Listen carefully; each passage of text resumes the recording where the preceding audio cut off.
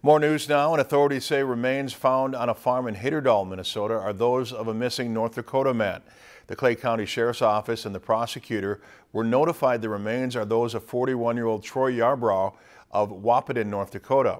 Dental evidence from the scene was compared with Yarbrough's dental records. The Ramsey County Medical Examiner positively identified the remains.